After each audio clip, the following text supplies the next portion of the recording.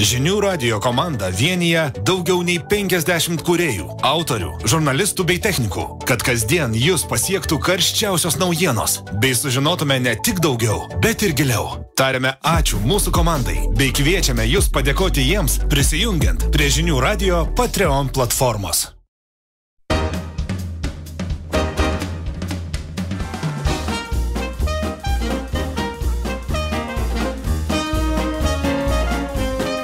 Laimės dulkės.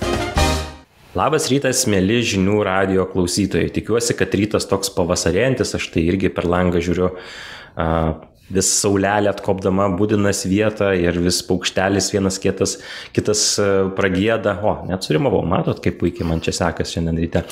Ir šiandieną turiu nuostabę viešnę rytą Čepinskinė. Va, man su tom pavardėm, kiek mane sekate, žinot, ne visada būna labai gerai. Rita yra Nasdaq personalo vadovė ir šiandien aš nekėsim apie darbuotojų laimę ir apie rinkoje vykstančius tokius, šiokius tokius manevrus. Tai visų pirma, laba diena, Rita.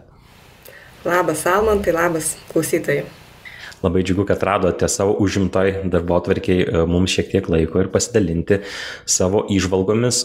O man įdomiausia iš tikrųjų šiandieną bus jūsų paklausinėti, turbūt laidą reikėtų pradėti nuo to, kad stebime rinkoje tą vadinamą The Great Resignation, kas į lietuvių kalbą išvertus, nežinau, aš mėgstu tai vardinti didžioji migracija, tam tikrą prasme pasiemus. Mhm. Didžioji kaita, didžioji migracija. Tai reiškia, kad darbuotojai yra linkę migruoti iš vienos organizacijos į kitą yra galybės tyrimų padarytos, kad tos organizacijos, kurios kažkokiu būdu sugeba uh, išlaikyti darbuotojus laimingesnius ar laimingesniais, laik kalbos komisija nesupyksta, uh, tose organizacijose ta kaita yra daug mažesnė. Ir ne tik tai skaita, yra nemažai tyrimų, kad darbuotojai, kurie yra laimingesni, uždirba netgi įmonėms daugiau pelno. Ir buvo visai įdomus uh, Harvard Business Review straipsnis, kuomet su Britanijos viena telekomunikacijų įmonė, kurios pardavinėja, būtiškai tariam, telemarketingo paslaugas,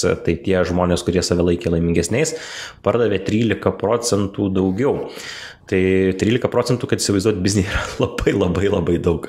Tai Rita, ar kaip jūs stebite šitą rinkos, na, tokį pokytį ir kaip galvojat, nuo ko visa tai prasidėjo, pabandykim nuo ištakų tai aptart.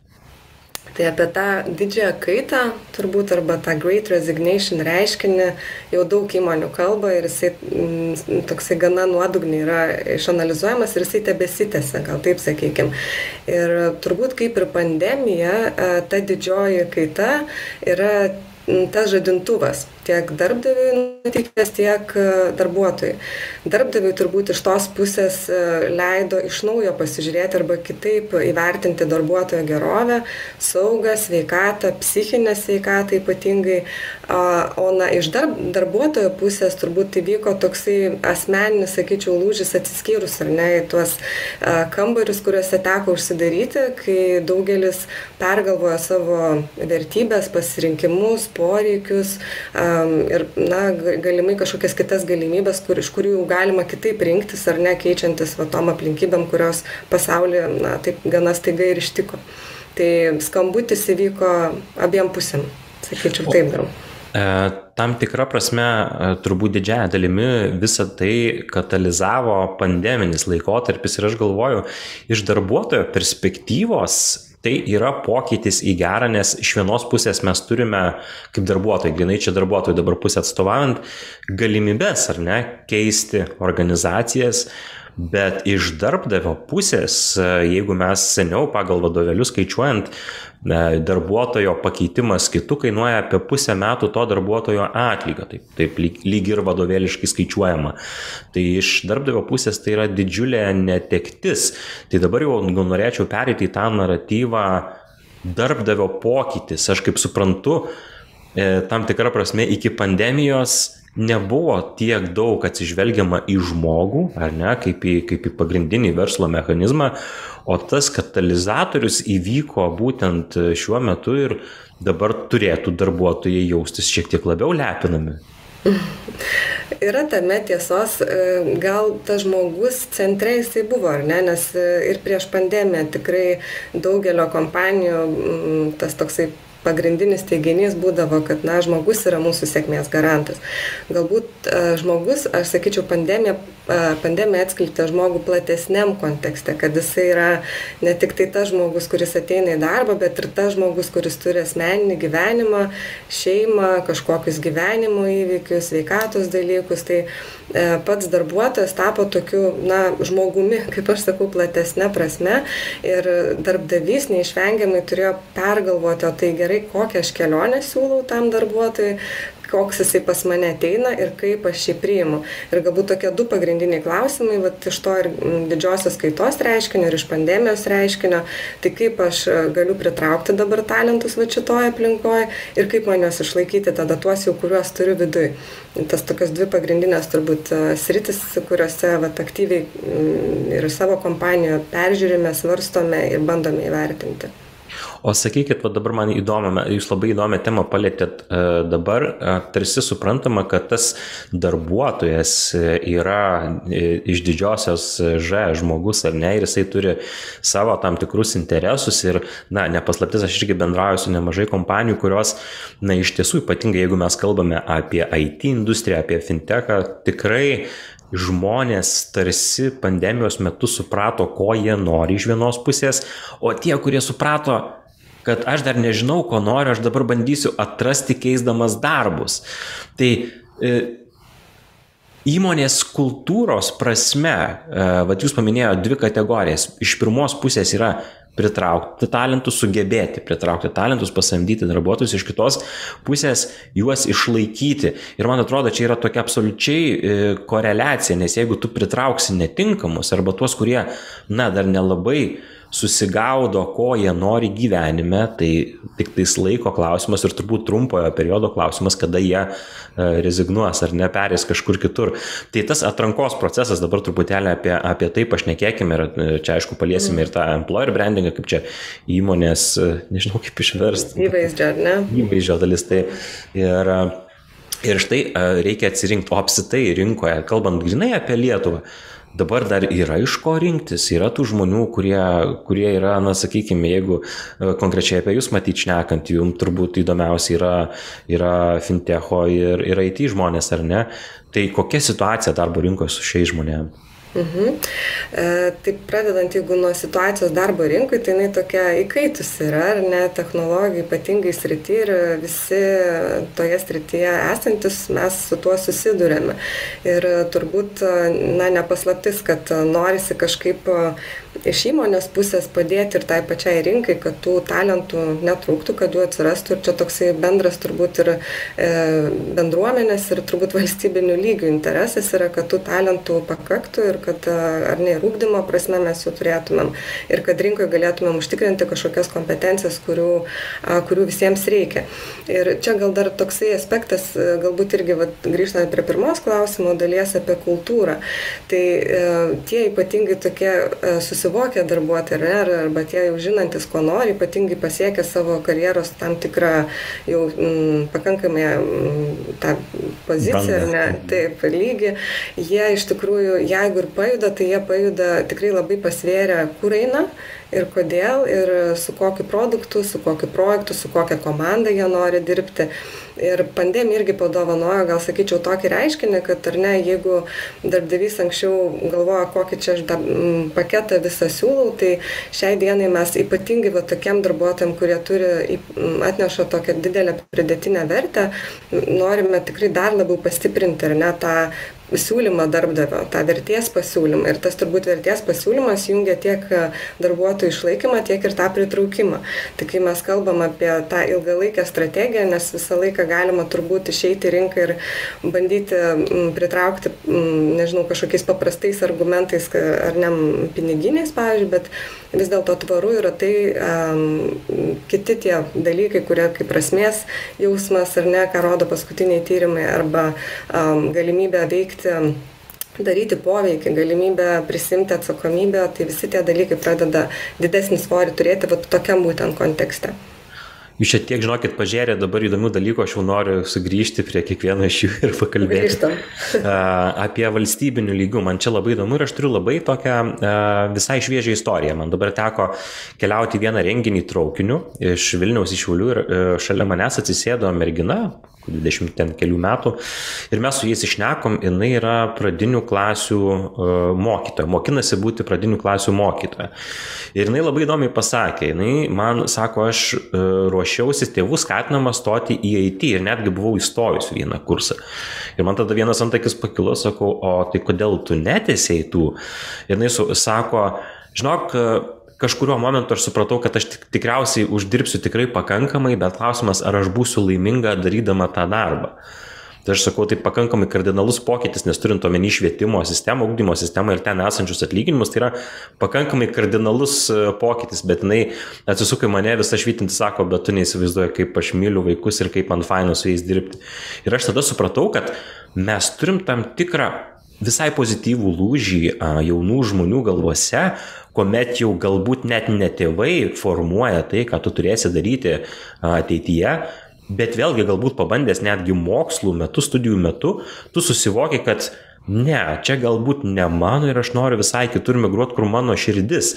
Tai Rita, kaip Jūs galvojate ir galbūt stebite tokį reiškinį, kadangi vyksta labai daug tokio viešo diskurso apie tai, kad, na, stokite į matematiką, stokite į informatiką, į tiksliuosius mokslus, visi tie e, humanitariniai, okei, okay, ne visi aš čia subendrinu ir šiek tiek sutrištinu spalvas, bet jie yra, juos visada galima išmokti, net filosofijos, filologijos ir taip toliau. Aš jokių būdų to nenuvertinu. Bet tam tikra prasme yra toksai rinkos spaudimas, E, kad pagaminti vis daugiau tų talentų. Jūs negalvojat, kad tam tikrą prasme jau to spaudimo yra šiek tiek per daug ir tam tikrą prasme mes programuojame ateityje vėl dar didesnę tą, tą kaitą, kuomet žmonės tam tikrų metų supratę, kad velnės gal ir viskas gerai, kaip jūs paminėjote, piniginio atžvilgiu, nes iš ties yra dėkinga situacija IT, IT industrijoje, bet aš darau visai ne tai, ką, ką noriu. Jūs matote kažkokius, va, tokius kalbant apie tą jaunesnę kartą, e, pokyčius ir tą spaudimą?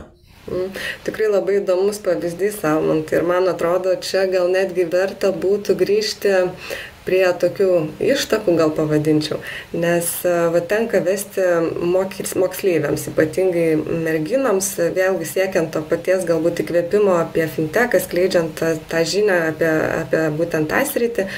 Bet mes kalbam apie, su juom teko vat, irgi neseniai bendrauti, būtent apie pačią pradžią susivokimo, tai kas mane daro laimingu, jeigu galima prie tos, to, tos pačios laimės temos sugrįžti. Taip. Ir tas saldusis taškas, va, irgi kiek tenka susidurti, ištinka, kai mano įgūdžiai ir gebėjimai, mano pomėgiai ir interesai ir mano vertybės sutampa su ta istorija, ar ne, kurią kūrė mm, darbdavys. Tai kokią misiją jisai viziją turi, kokias, kokiam vertybėm vadovaujasi.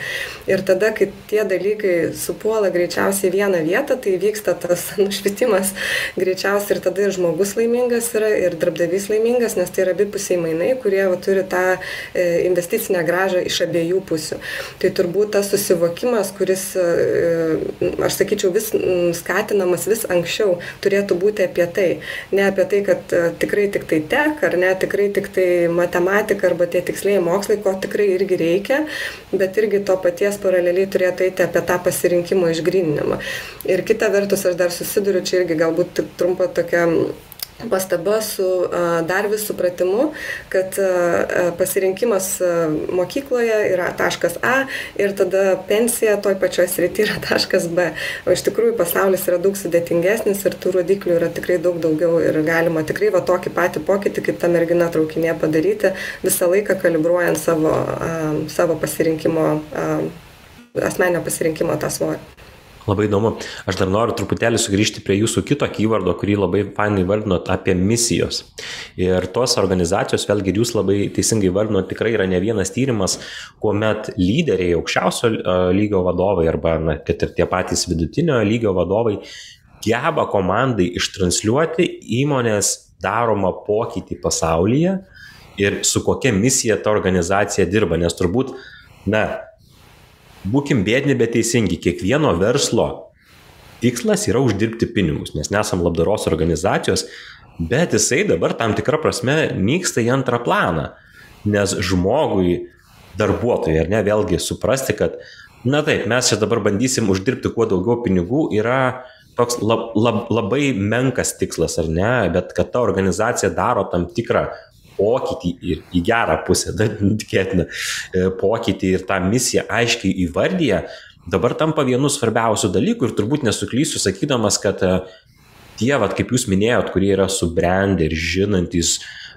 jau savo karjerą padarę asmenys neretai organizacija renkasi pagal tai, nes jau atlyginimas tampa tokia, žinot, hygiena. Nu, visur gausi tą atlyginimą, viskas tvarkoja, bet kokį, taip sakant, išėjęs į pensiją, tu arba suprasi, kad tu darai tai tikslingai ir su kažkokia faina misija, arba tu suprasi, kad, na, nieko čia gero ne, ne, nepadariau, arba nebūtinai nesuprasi, bet tau tai tiesiog nebuvo iškomunikuota. Jūsų organizacijoje kokiu būdu ta misija, mat man čia labai įdomu, iš savo pavyzdžių gal galite pasidalinti, kaip tai yra formuojama ir na, jūsų organizacija yra iš tikrųjų didžiulė ir pasaulinė, ar ne, viena iš tokių lyderiaujančių. Kokiu būdu ateina tas misijos suvokimas nuo aukščiausios grandies iki tų žemesnių. Mm. E, šiaip irgi gal kas įdomu pradėti nuo to pasirinkimo e, įmonių ir būtent kokį vaidmenį vaidina ta, ta, ta misija arba e, kokį mes paliekam pėtsaką po savęs kaip įmonė apart uždirbto pelno.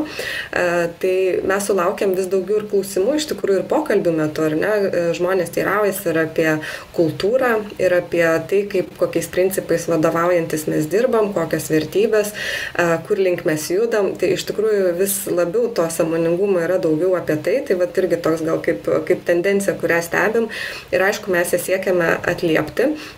Ir turbūt e, NASDAQ kompanija reaguodama irgi į tuos pokyčius vykstančius ir į a, pokytį, kurį gali daryti per prieimą prie daugelio klientų pasaulyje, ar ne, nes turime daug listinguojamų kompanijų, tai mes siekiame, kad iš tikrųjų ta, ta, ta veikla, kurią mes darome, darytų pokytį ir filantropinę prasme, tai tose bendruomenėse, kurios mes esame, kad kurtume m, tuos principus lygybės, tarkime, vairovės ar ne, kad jie būtų įgyvendinti įgyvendinami e, savanorystės įvairios programos ir panašiai, kad jos va, tose bendruomenėse ir tose kapitalo rinkose, kurias mes funkcionuojame, iš tikrųjų veiktų. Kaip tai vyksta? Aišku, e, pandemija, ką padovanojo, tai didesnį lyderystės arba lyderių matomumo organizaciją, nes teko tikrai daug komunikuoti apie tai, kas vyksta, kokie mūsų veiksmai, kaip mes atliepiame darbuotojų poreikius ir panašiai. Tai turbūt su tuo ta komunikacija, va, top-down approach iš tikrųjų tikrųjų jinai ir šiai dienai išliko. Ir mes matome tam tikrus pavyzdžius ir savo kompanijoje nuo pat aukščiausio lygio um, vadovų ir net, tarkim, per mūsų metinius susitikimus uh, dalinamas yra pavyzdžiais apie tai, kaip mes ar ne įgyvendinam tą, mes vadiname purpose uh, iniciatyvą. Ir mes klausime darbuotojų, kiek jūs jaučiate per įvairias apklausas arba vadovai yra įgalinti būtent um, kalbėtis apie tai su savo komandoms, apie tą tikslą, kurio, dėl ko mes čia esame, kaip mes mes jo siekiame ir kas tau yra asmeninis tikslas, kaip tu gali prisidėti prie tos misijos, Nasdaq, kurios Nasdaqas e, yra vedinas.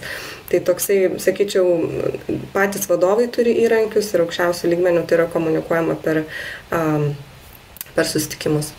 Dar uh, labai noriu apsistoti ties, ties lyderystė ir ties vadovavimu. Neretai vėlgi uh, toksai sakinys yra, kad žmonės ateina galbūt dėl misijos, dėl atlyginimų, dėl kažkokių kitų dalykų. Uh, ir migruoja į kitą organizaciją dėl savo tiesioginio vadovo. Aš pats turėjęs esu labai skaudžių pavyzdžių. Ir klausimas, o kokiu būdu, ypatingai dabar stebint pandemijos metu, vėlgi e, jau mes šitos tyrimus minim kelintą kartą e, šiandieną yra, e, atrodo, kad tarsi darbuotojų ta gerovė ir, ir emocinė sveikata ir laimė yra labai labai svarbu, bet tyrimai rodo, kad šešis kartus labiau linkę perdegti ir būti nelaimingais yra vadovai. Tai tarsi ant vadovų pečių užkariama yra ne tik tais jo tos tiesioginės funkcijos ar ne, bet ir ta lyderystės visas naratyvas, kuomet tu gebi, tu, atsiprašau, privalai gebėti tą komandą vesti į priekį ir nebūtinai pats besijausdamas gerai, ar ne? A, B, matyt, na, tu irgi žmogus ir, ir be to, kad, na, tau tam tikrą prasme reikia atliekti tas tiesioginės funkcijas, dabar užkrito dar ir tos funkcijos, kurių taip paprastai nėra išmokstama. Lyderystė nėra tas ta duotybė, kur tu paskaitai knygą ir tampi lyderiu. Tai Kaip šitoj vietoje, kaip jūs galvojat, tuos ypatingai kalbant ne apie aukščiausio lygio vadovus, bet apie tuos viduriniosios grandies, kuomet jie turi tiesioginį ryšį su savo komandom. Kaip, kaip, kokie pokyčiai va šitoj grandyje vyksta? Mm. Mm, kaip tik vakar turėjome su vadovais diskusiją apie, apie darbuotojų įsitraukimą ir kalbėjome apie tokias tris kategorijas - pasitenkinęs darbuotojas, įsitraukęs ir įkveptas, kas būtų jau ta sėkmybė, kai žmogus jaučia prasme darbį ir panašiai. Ir tuomet pakreipiam tą klausimą į pačius vadovus. Kaip jūs jaučiatės? Pasitenkinę, įsitraukę ar įkvepti? Iš tikrųjų, didžioji dalis buvo ir įkveptų, bet buvo didžioji dalis e, įsitraukusių kategorijų ir mes irgi bendravome apie tai, kiek iš tikrųjų daug reiškia ta uh, mano jausena. Netgi aš jeigu galiu savo teikti kaip vadovas, kad uh, man viskas gerai, aš tvarkoju, gerai tvarkausi, bet jeigu viduje man dienos pabaigoje yra noras, nežinau, išeiti ir pabėgti iš viso šito konteksto, tai, tai vis tiek uh, kaip nuotaika transliuojasi komandai ir sakom, kad pirmiausia tas tonas vidinis turi ateiti iš savęs. Ir aišku, kad šitoj tokio hybridinėje aplinkoje vadovui kaip ir pats Almantai sakai, užgulė didžiulis svoris atsakomybės, o kaip man dabar išplėsti tą savo kompetencijų krepšelį, kad ne tik savo fiziniu buvimu, kaip anksčiau ar ne ofise, gali pajusti tas tvyrančias ore nuotaikas, o kaip dabar per ekraną man pajausti tvyrančias komandoje nuotaikas, kaip man e, priklyjuoti atgal prie savo po viso šito nebuvimo, priklyjuoti tuos narius atgal, kaip įvesti naujoką,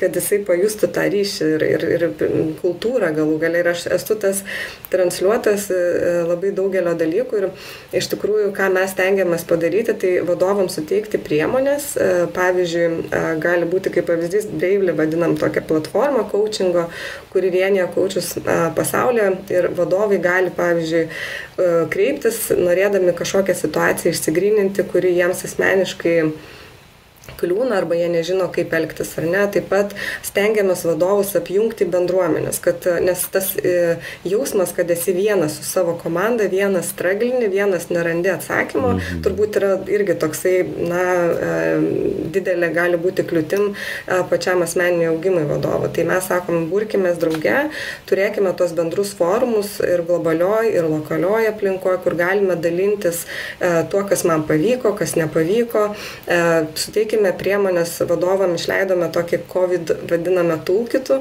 kur nuo iki buvo aprašomi, pavyzdžiui, vairūs benefitai lygiai taip pat darbuotojai ir, pavyzdžiui, kaip pavyzdys buvo aprašoma, o kaip elgtis, jeigu atsitiko darbuotojo šeimoje netektis, kaip, na, kokius aspektus man kaip vadovui reikia turėti omeny, kalbantis apie tai.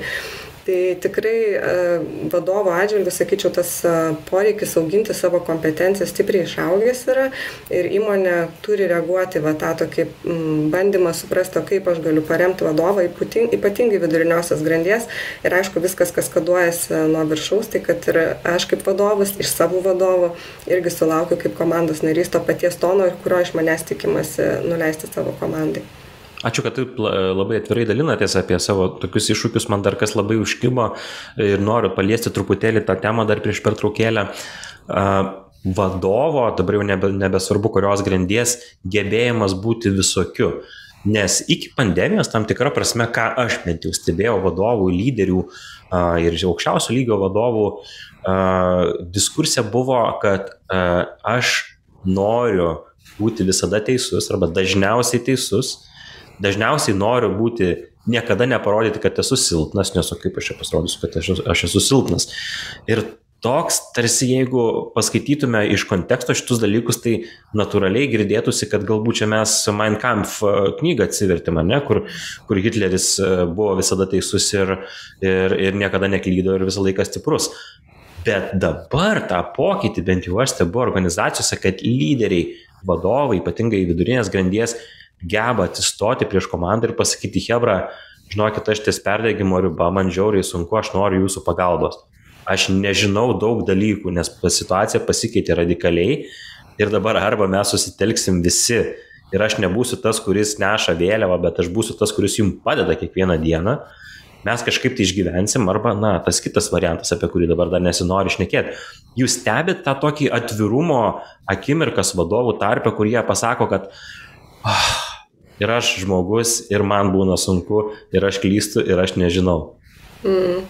Taip, tai ta lyderystės kultūra apskritai tokia pas mus vienas turbūt iš argumentų, irgi, kurį komunikuojame kaip darbuotojo vertės tą pasiūlymą. Ir vadovą irgi suvokiame kaip žmogų pirmiausia ir tas yra tikrai svarbu ir tau pasakojant apie mm, tą tokį vadovo žmogumi buvimą, prisiminiau nuotrauką, kurią neseniai linktinę mačiau, nepamenu kompanijos, bet ten buvo aukščiausio lygio vadovai, apsirengę iki pusės oficialiai, o e, kita pusė žemė žemesniosios kūno dalies buvo pižaminė tokia arba visiškai būtiška. Ir tai irgi vat, leido nu, pamatyti, kad iš tikrųjų na, mes visi pragyvenome vienodai šitą visą e, pokytį ir e, turbūt tas atsiverimas netgi namų aplinką tą pačią vadovui irgi padarė žmogum, ar ne, nes aš man, kažkoks šuo suloja, vaikas įbėga ir, na, pirmiausia, va, ta turbūt e, irgi tam tikrą prasme netgi girdėjosi iš darbuotojų, kad sujungia tas toksai momentas, kuris atsitiko, nes visi įėjo į tą mažą langelį ir ypatingai jeigu vadovas turi komandos dalį Švedijoje, komandos dalį Lietuvoje, tai mes tiesiog vat, vieni visi vienodam sąlygom dabar e, gyvenam. Bet taip, pažeidžiamumas kaip toks arba kaip tema, apskritai lyderystėje turbūt irgi viena iš tų, kurios dabar tikrai na, e, būmina, jeigu leisčiau tau savo tai pasakyti. Tai ir Brenė Brown, pavyzdžiui, ar ne visa veikla, kuri lyderystė lyderystėje daug dėmesio skiria, tai manau, kad taip, tikrai vienas iš tų aspektų, kuriuos stebėm ir kurie uh, įkvepia darbuotojus būti, ar ne, draugės su tokiu vadovu, nes niekas nenori būti prie gero ir pukuoto, nes tai tiesiog yra neįdomu. Taip, būtinai prie šitos temos dar grįšime, dabar turim padaryti trumpą pertraukėlę. Priminsiu žinių radio klausytojams, kad šnekame su Rita Čiapinskinė, Nasdaq e, personalo vadovė, mano vardas Almantas Dulkys ir čia yra Laimės Dulkis. Tai nepabėgit, tuoj pat pratesime.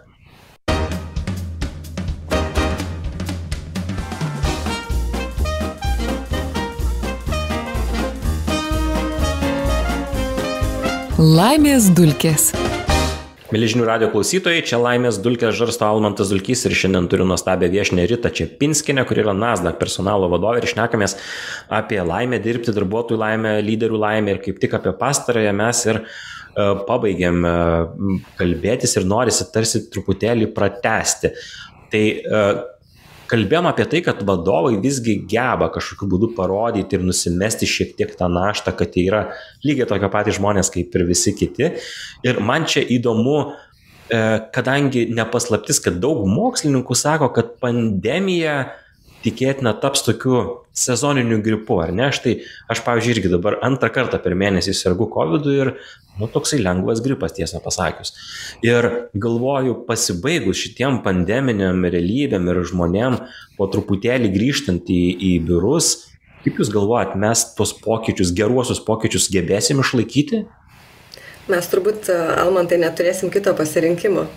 Tiesiog, nes e, diktuos vis tiek darbuotojų poreikiai tam tikrą prasme ir pasikeitė supratimas, kas yra galima, kaip, kaip galime toliau dirbti ir būti efektyvus ir būti patenkinti. Tai lankstumas turbūt yra vienas iš tokių aspektų, kuris, manau, tikrai a, neišnyks bet teko irgi susidurti su žodžiu, kaip mes kalbėjom apie great resignation, tai great awkward arba, nežinau, didysis keistumas turbūt galėtų būti, ar ne, kad e, vis tiek baigus pandemijai turėsim, na, grįžti kažkuria prasme ir į komandas, vienokiu ar kitokiu būdu susitikti su tais gyvai žmonėmis, išlipti į tą 3D formatą ir reikės ieškoti turbūt naujų būdų, kaip mes e, e, kultūriškai, va, drauge jausimės po vieną įmonės stogų tiek ofise, tiek už ofiso ribų, kai dalis komandos susitinka ir vienaip ar kitaip, žodžiu, tas ryšys turės kurtis. Tai tos gerosios praktikos, jos turės dar naujas kažkokios formuotis tam Great Awkward reiškinį ir lygiai taip pat iš to, ką jau pasimokėm, jos turės būti, tikrai neturėsim kito pasirinkimo, jos turės išlikti. Na, žiūrėkit, tam tikrą prasme, kaip yra posakis, ar ne, kad negalima e, praleisti geros krizės. Tai šioje, šioje atveju, jeigu mes galvotume taip apie, kaip apie krizę, tam tikrą prasme, tai būsime išsikapstę ir labai gerai užaugę.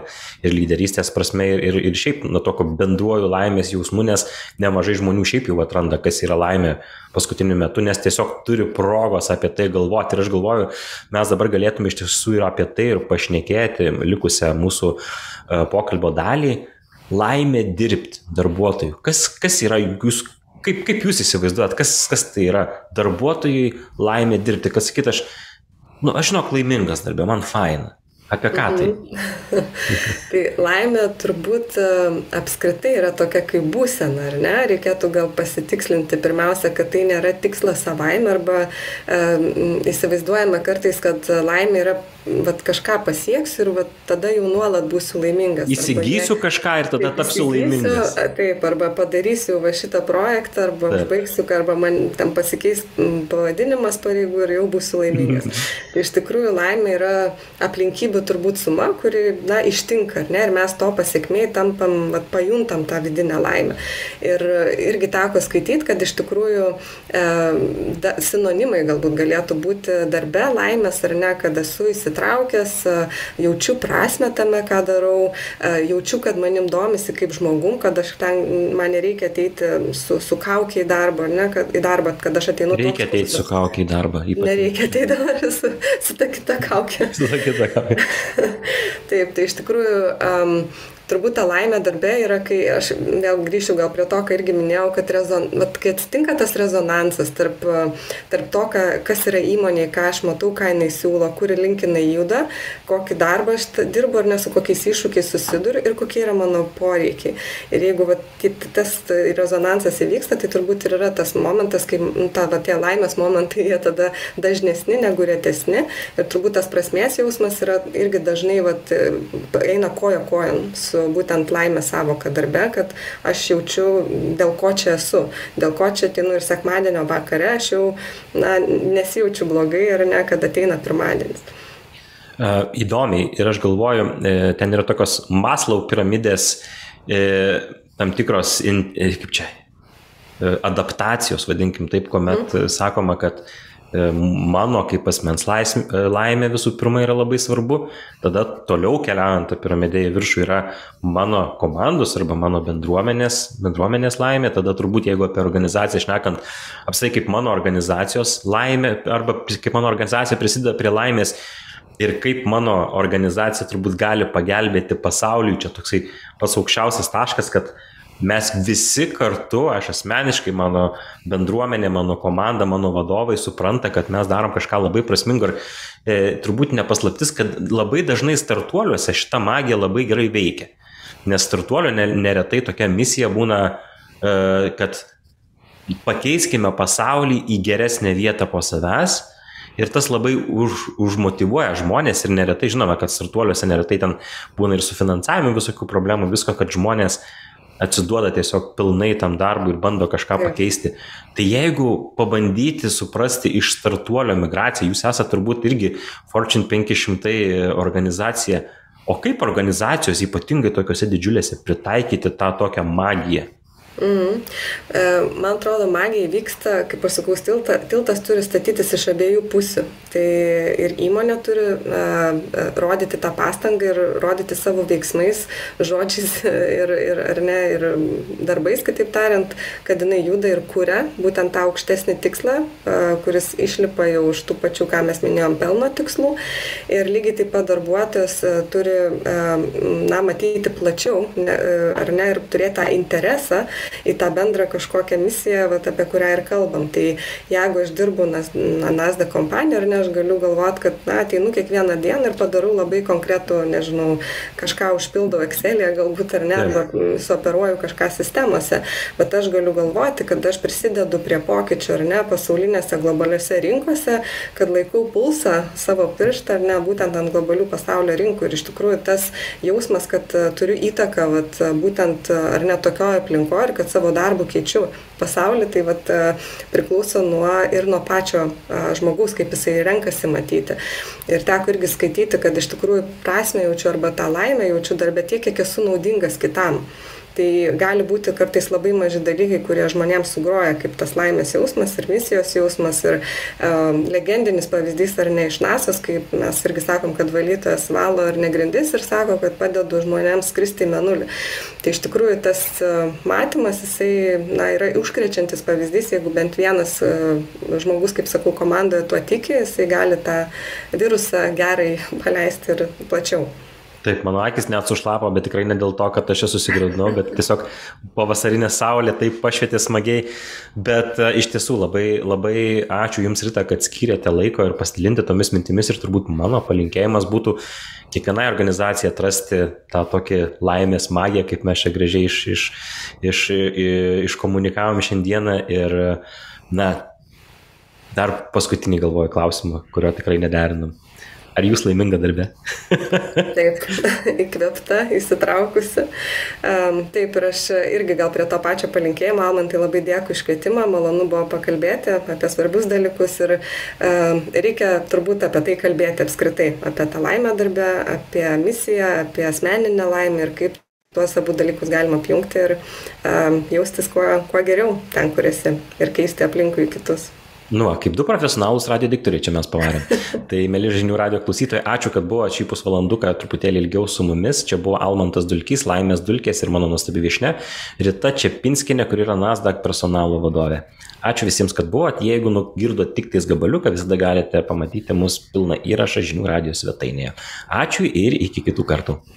Ačiū.